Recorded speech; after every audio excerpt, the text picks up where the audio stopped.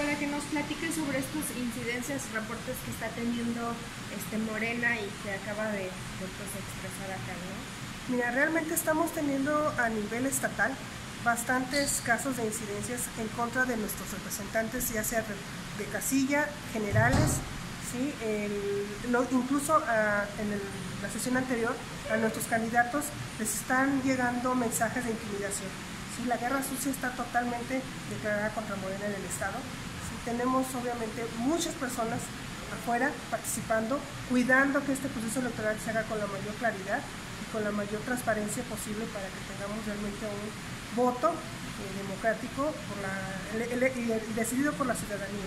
Bueno, además de esta guerra social, también menciona que han tenido reportes de que se está eh, eh, se les está negando el derecho a votar por llevar su propio bolígrafo o que la tinta indeleble se está se, les está exactamente sí es a la ciudadanía en general sí a los, a los votantes que están llegando con sus propios bolígrafos para garantizar que no les cambien su decisión por el partido que ellos están eligiendo, no se los está permitiendo. Están diciendo que eso está prohibido. Eh, ya les informamos que no, no, está prohibido, que tienen su derecho para ellos expresar su decisión con el bolígrafo que, deseen. Y la, tinta sí, este, detectamos aquí en Guanajuato Capital que en una sección, en una casilla, eh, se está borrando. Entonces, por eso mismo estamos haciendo la, denuncia para que se atienda y se verifique. Y en León eh, detectaron acarreos en León estamos viendo, o se está, sí, viendo bastante acarreo este, en las casillas.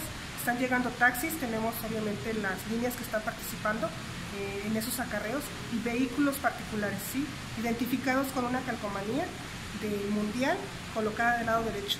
Entonces a todos estamos este, viendo y cuidando sobre todo que este proceso electoral se haga este, de la manera más limpia. ¿Tienen eh, identificado, detectado estos acarreos de dónde podrían pues venir? Mm, todavía no tengo ese reporte, pero estamos obviamente cuidando todo, todo, sí, a nivel estatal. Muchas gracias. Sí.